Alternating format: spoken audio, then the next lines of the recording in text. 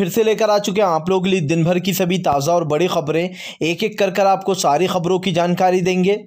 आज देश दुनिया में क्या कुछ हो रहा है? दरअसल सबसे पहली जो बिग ब्रेकिंग निकल कर आ रही है, आप लोग बता दोस्तों, किसानों के साथ होने वाली बैठक। कल टली किसानों का बड़ा फैसला, कहा कल की मीटिंग में उठाएँगे एनआईए का मुद्दा। जी हाँ किसानों को डरा रही मोदी सरकार, इसके बारे में आपको विस्तार से बताएँगे। वहीं पर दूसरी बिग ब्रेकिंग में हम आपको बताएँगे, जी दोस्तों, कोवैक्सीन को लेकर सरकार की लापरवाही। जी सरकार कह रही थी कि कोवैक्सीन इम्यूनिटी वाले लोग लगवा सकते हैं, लेकिन कंपनी कह रही है कि इसको भूल कर भी इम्यूनिटी वाले लोग न लगवाएँ, यानी कि जिनको कोई बीमारी है या कोई गर्भवती है ऐसे लोग इस कोवैक्सीन का यूज़ नहीं करें। आपको बता दें ये कोवैक्सीन वो है जो कि इंडिया में बनी है। इसके बारे में भी आपको विस्तार से बताएँगे। वहीं पर अगली बिग ब्रेकिंग में हम आपको बताएँगे ट्रैक्टर रैली को लेकर। आज किसान और पुलिस के बीच में बैठक। जी आप लोग बता दें ट्रैक्टर रैली को लेकर बातचीत चल रही है। आखिर कि कहाँ से कहाँ तक जाएगी ट्रैक्टर रैली? जी हाँ इसके बारे में भी आपको विस्तार से बताएँगे। वहीं पर अगली बिग ब्रेकिंग में हम आपको बताएँगे। जी हाँ, दरअसल दोस्तों आप लोग बता दें अखिलेश यादव का बड़ा दाव कहा फ़िलहाल बीजेपी में 2022 में मचने वाला है हड़कम जिया कई बीजेपी नेता हमारे संपर्क में छोड़ देंगे बीजेपी। जी हाँ इसके बारे में भी आपको विस्तार से बताएँगे। वहीं पर अगली बिग ब्रेकिंग में हम आपको बताएँगे। जी हाँ दरअसल दोस्तों, आप लोग बता दें, मोदी सरकार बुरी तरीके से फंसी। जी हाँ किसानों का बड़ा ऐलान कहा। फ़िलहाल आज की मीटिंग जो टल गई है, कल फिर से मोदी सरकार से जो बातचीत होगी, वो शुरुआत से होगी। यानी कि एनआईए का मुद्दा ज़ोर पकड़ लिया। जी हाँ इसके बारे में आपको विस्तार से बताएँगे। वहीं पर अगली बिग ब्रेकिंग में हम आपको बताएँगे। जी हाँ दरअसल दोस्तों, आप लोग बता दें, अगली जो बड़ी खबर निकल कर आ रही जी हाँ अगली बिग ब्रेकिंग में हम आपको बताएँगे। जी हाँ दरअसल दोस्तों, आप लोग बता दें, मोदी सरकार का एक और झूठ आया सामने। जी हाँ लोगों ने सादा जमकर निशाना कहा, फ़िलहाल मोदी सरकार किसानों को डराने की कोशिश ना करे। जी हाँ इसका मुद्दा भी जो है दोस्तों, अब ज़ोर पकड़ता जा रहा है। इसके बारे में भी आपको विस्तार से बताएँगे। तो सारी खबरें आप लोगों को एक एक कर कर देंगे। फ़िलहाल खैर चलिए बढ़ते हैं सबसे पहली और सबसे बड़ी खबर की ओर। दरअसल दोस्तों, आप लोग बता दें, किसानों का आज बड़ा फैसला कहा। फ़िलहाल आज जो मीटिंग होने वाली थी दोस्तों, आपको बता दें, वो मीटिंग टल गई है। यानी कि आज जो मीटिंग होने वाली थी, वो अब कल होगी। ऐसे में किसानों ने बड़ा ऐलान कर दिया। उनका कहना है कि फ़िलहाल एनआईए का मुद्दा जो है, वो कल उठाएँगे। जी हाँ यानी कि कल की तारीख में एनआईए का मुद्दा उठाएँगे और सरकार से स्पष्ट बात करेंगे कि फ़िलहाल क्या सरकार डराने की कोशिश कर रही है किसानों को। जी हाँ जिस तरीके से यहाँ पर किसानों को डराया, धमकाया जा रहा है इसको लेकर किसान मोर्चा ने ये फैसला कर लिया। आप लोग बता दें, फ़िलहाल जो है यहाँ पर किसानों ने कहा कि आज वाली जो बैठक है वो कल की ओर स्थगित कर दी गई है। लेकिन सबसे बड़ी बात ये दोस्तों कि आज जो कमेटी बनाई गई थी, वो भी आपस में चर्चा कर रही है कि कैसे किसान कानून के बीच में से हल निकाला जाए सरकार और किसान की लेकिन दोस्तों, जैसा कि हमने कहा था कि किसान नहीं शामिल होंगे इस कमेटी में, उन्होंने पहले ही मना कर रखा है। भले ही आज उनकी बातचीत हो, लेकिन बाद में जब किसानों को बुलाया जाएगा, जब भी किसान वहाँ पर जाने को राज़ी नहीं, मोदी सरकार की पोल खुल चुकी है। फ़िलहाल खैर, चलिए हम बढ़ते एक और अगली बिग ब्रेकिंग की तरफ़। बता दें आप लोगों को अगली जो बड़ी खबर निकल के आ रही है दोस्तों, आज किसान नेताओं और दिल्ली पुलिस के बीच में बैठक। दरअसल कल आप लोग बताएँ सुप्रीम कोर्ट ने एक फैसला सुनाया था, जहाँ पर उन्होंने कहा था, ये दिल्ली पुलिस का निर्णय रहेगा कि वो किसानों को दिल्ली में आने देना चाहते हैं या फिर नहीं, ट्रैक्टर मार्च निकालने देना चाहते हैं या फिर नहीं। दरअसल दोस्तों, छब्बीस जनवरी के दिन काफ़ी भीड़ भड़ाका होता है। अब ऐसे में योगेंद्र यादव समेत जितने भी किसान नेता है, वो सब पुलिस से बातचीत करने में लगे। हालाँकि आप लोग बता दें, किसानों ने बड़ा ऐलान कर दिया कि फ़िलहाल अंदर तो वो जाकर रहेंगे। जी हाँ, राकेश टिकेश ने कहा था कि फ़िलहाल इजाज़त मिले या नहीं अंदर तो वो दिल्ली में जाकर रहेंगे लेकिन फ़िलहाल आप लोग बता दें पुलिस से बातचीत चल रही है और ऐसे में कहाँ से कहाँ तक निकलेगी ये सब कुछ जो जानकारी है वो जानकारी वो है पुलिस को देंगे कि कहाँ से कहाँ तक मार्च निकाली जाएगी। तो कहीं ना कहीं अगर एक तरीके देखा जाए तो ये रैली बहुत ही दमदार होने वाली है। फ़िलहाल खैर, चलिए हम बढ़ते हैं एक और अगली बिग ब्रेकिंग की तरफ़। बता दें आप लोगों को अगली जो बड़ी खबर निकल कर आ रही है, दोस्तों, अखिलेश यादव ने सादा बीजेपी पर अपना निशाना कहा। फ़िलहाल बीजेपी में मचने वाला है हड़कंप।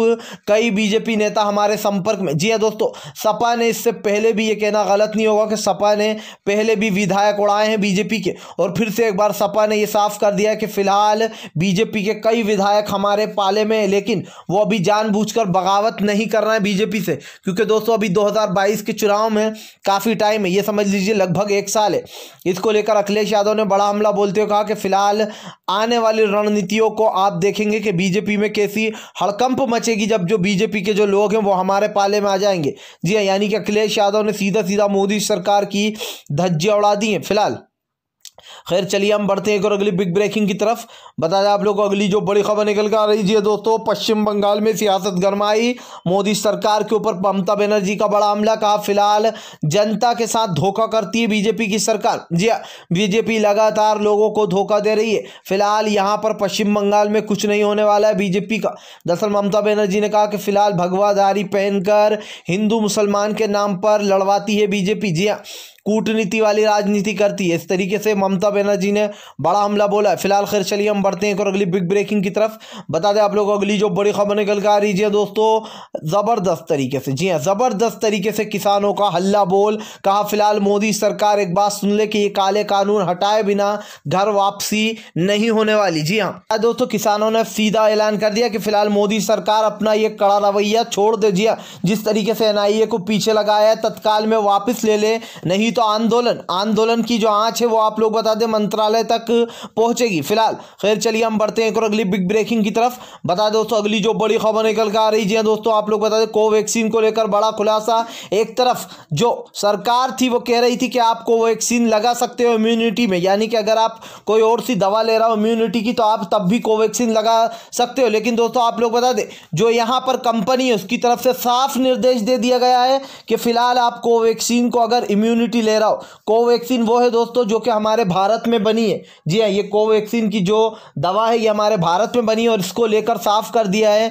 कि फ़िलहाल अगर आप किसी इम्यूनिटी की दवा ले रहा हो तो इसको ना ले। जी हाँ साफ़ मना किया गया है, लेकिन सबसे बड़ी सवाल ये उठ रहा है सरकार पे कि सरकार इतनी बड़ी लापरवाही कैसे कर सकती क्योंकि सरकार ने जब इसको लॉन्च किया था तो कहा था कि फ़िलहाल ये इम्यूनिटी वाले लोग भी लगवा सकते हैं, कोई प्रॉब्लम नहीं होगी। लेकिन अब कंपनी साफ़ साफ़ मना कर रही है। अब सबसे बड़ा सवाल ये उठता है कि क्या कहीं कुछ घटनाएँ हो रही हैं जिसको लेकर सरकार खुलासा नहीं कर रही। ये बड़ा सवाल उठ गया है दोस्तों।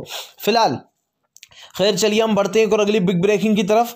बता दें आप लोगों को अगली जो बड़ी खबर निकल कर आ रही है दोस्तों, किसानों के आंदोलन में पहुँची महिला शक्ति किसान मोर्चा। जी हाँ आप लोग बता दें महिलाओं का जत्था का जत्था किसानों के आंदोलन में पहुँच गया। फ़िलहाल महिलाओं ने बड़ा ऐलान कर दिया। कहा, फ़िलहाल हमारा महिला जो शक्ति मोर्चा है, वो आप लोग बता दें छब्बीस जनवरी के दिन भी किसान भाइयों के साथ जाएगा। जी हाँ उनकी अलग रैली निकलेगी। दरअसल दोस्तों, आप लोग बता दें छब्बीस जनवरी को होने वाली परेड में महिलाएँ भी हिस्सा लेने वाली है। जी हाँ आप लोग बता दें, महिलाएँ जो है वो अलग से अपनी रैली निकालेंगी। एक तरफ़ ट्रैक्टर में जो यहाँ पर किसान दो दो झंडे के साथ मार्च करेंगे तो वहीं दूसरी तरफ़ जो महिला शक्ति मोर्चा है, वो भी आप लोग बता दें, अब किसानों के समर्थन में आ गए दरअसल आज जो यहाँ पर बॉर्डर पर पूरी महिलाओं का जत्था का जत्था पहुँचा है। उन्होंने कहा कि फ़िलहाल हम किसानों को सपोर्ट करने आए हैं और किसानों को सपोर्ट करते रहेंगे, जब तक कि ये तीनों काले बिल वापस नहीं हो जाएँगे। महिलाओं ने बताया कि एक हर जीत में एक औरत का हाथ होता है और ऐसे में हमें लगता है कि अब किसानों की जीत होने वाली है, उनकी मांगे माननी ही पड़ेंगी सरकार को, क्योंकि सरकार के पास दोस्तों कोई और ऑप्शन बचा नहीं है। और अगर एक तरीके से दोस्तों देखा जाए तो ये बात सच भी है कि फ़िलहाल जो महिलाएँ हैं, उनका जो देखने को मिल रहा है, जो जज्बा देखने को मिल रहा है, वो अपने आप में एक बड़ी बात है। और आज जिस तरीके से यहाँ पर बैठक टाल दी गई है इसको लेकर भी कुछ अकैयात लगाया जा रहा है कि शायद कल की मीटिंग में कुछ हल निकल जाए। हालाँकि सरकार पूरी तरीके से दोस्तों घुटनों पर आ गई है, लेकिन नाक का मामला है। मोदी की नाक का मामला इसलिए झुकने को तैयार नहीं है। हालाँकि ज़्यादातर अगर आप मुझसे पूछोगे तो ज़्यादातर उम्मीद यही है कि फ़िलहाल हमें नहीं लगता कि किसानों के साथ कोई बातचीत सरकार की बनने वाली है, क्योंकि किसान अपनी बात पर अड़े तो सरकार अपनी बात पर अड़ी हुई है, जबकि होना तो ये चाहिए था कि सरकार को तत्काल में किसानों की ये बात मान लेनी चाहिए थी। फ़िलहाल